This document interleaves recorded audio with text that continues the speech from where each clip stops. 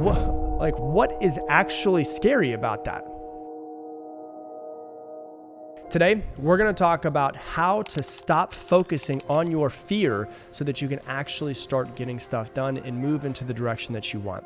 And I've got a really great story around this. So, this past weekend, uh, I was at an event that I am a, a mastermind of, uh, that I'm a part of. And there's about 80 of us in this mastermind. And the speaker who was on stage was Mike Tyson this weekend. And it was cool to see Mike Tyson talk because one of the questions that was asked of him is somebody said, Hey, Mike, when you were about to go into the ring and fight some of these people, we're talking about Mike Tyson fought some of the most dangerous people alive. And the guy said, Hey, you know, you fought some of the most dangerous people that have ever existed. Did you ever feel fear when you were about to walk into the ring? Mike Tyson was super honest and he said, I am literally a terrified person. Like my entire life. I'm I'm afraid all the time. And he said when I would find out before I would find out who I was about to fight, I'd be terrified of who that could possibly be.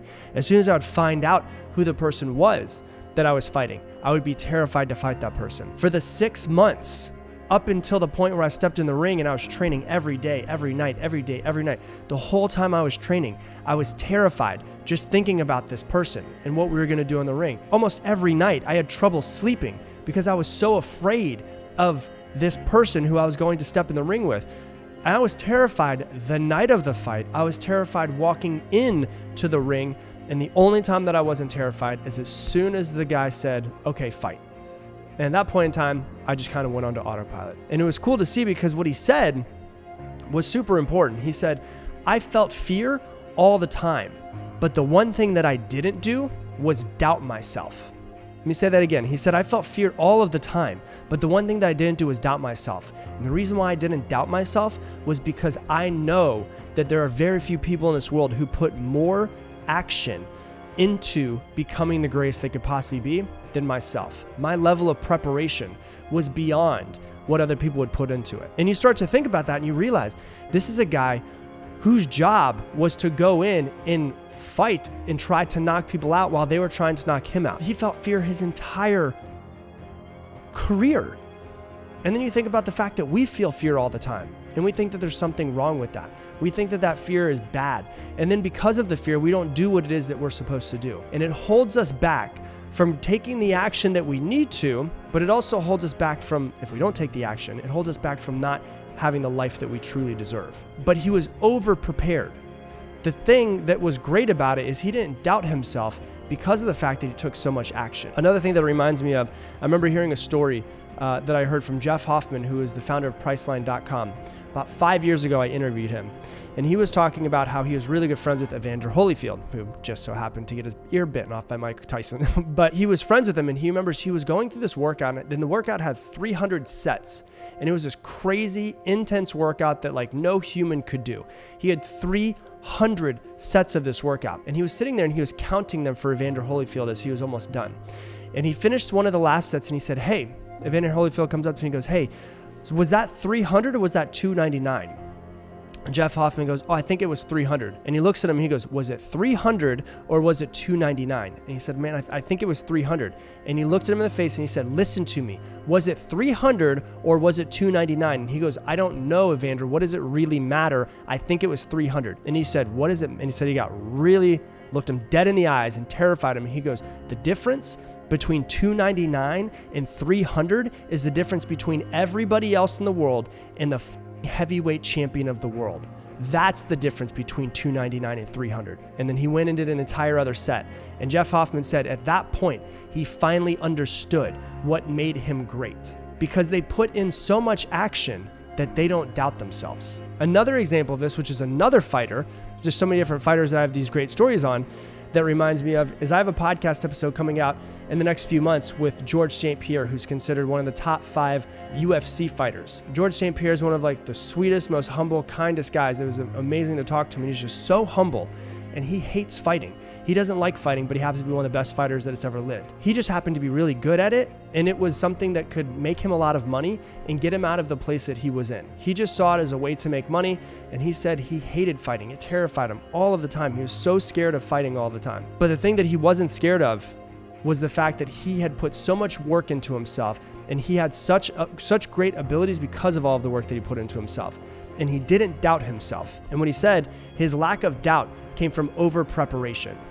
His lack of doubt came from over preparation. And he said that he would be terrified as soon as he found out who he was fighting. The whole time for the two, three, four, five months that he was in training camp, he would be terrified. For the entire time that he's you know, sitting out there and thinking about and trying to fall asleep and going to dinner. He said, like in dinner, in the middle of dinner, he'd be thinking about fighting and thinking about fighting. He'd have to, he was just terrified the entire time.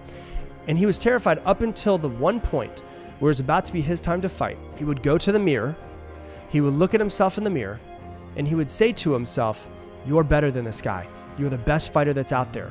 You're better than this guy. You're the best fighter that's out there. And he would talk to himself in the mirror. And what made his fear disappear was him building himself up and talking about how amazing he was.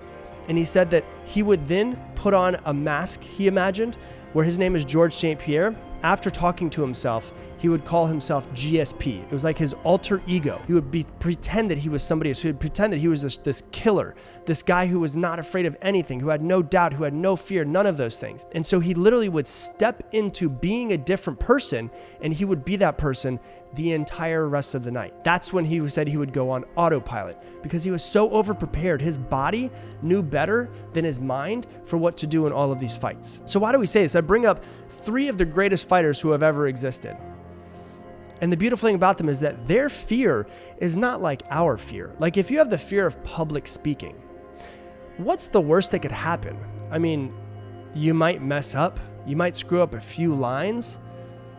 I mean, if you're really terrified, maybe you pee on yourself. Like that would be the worst thing that could. You could pass out, I guess. Like the fact of that, the, the, the chance of that happening is not really going to happen.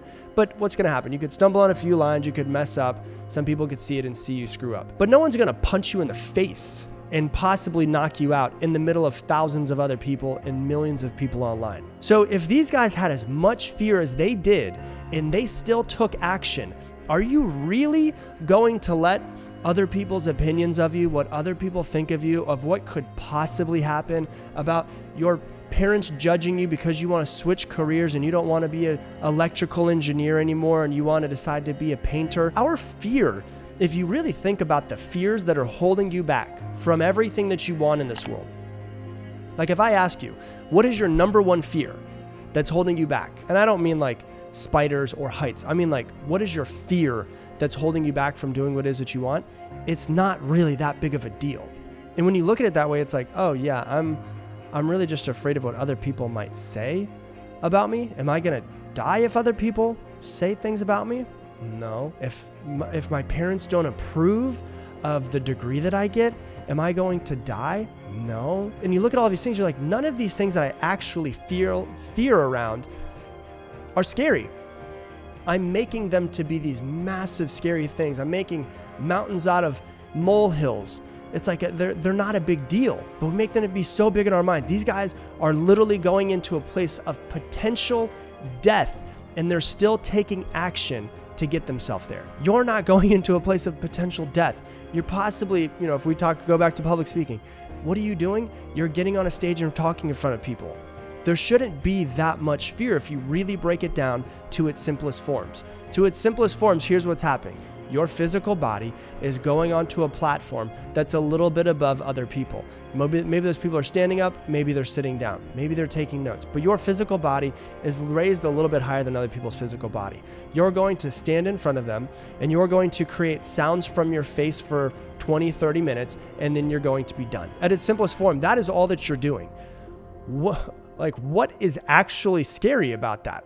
You're on a platform, physical body, people are lower than you and you know they might be sitting down and you're gonna make sounds from your face. Is that really terrifying? It's not. And when you break it down it's almost comical the things that we're quote unquote afraid of the things that we have fear over. So when you think about this how do I make it easier on myself if public speaking is the example that I want to get? The two biggest fears in the world number one is public speaking, number two is death. Jerry Seinfeld has a joke around that says people would rather be inside of the box than giving the eulogy at a funeral. When you think about it that way, what can I do to make sure that there's less fear, but absolutely no doubt in my mind when I'm going to go out there? The best way for you to be, if public speaking is the thing that we're going off of, the best way for you to be the best public speaker and give the best presentation is to be over prepared for every single thing.